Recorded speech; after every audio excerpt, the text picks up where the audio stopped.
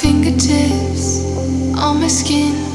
There's nothing that I wouldn't give to keep.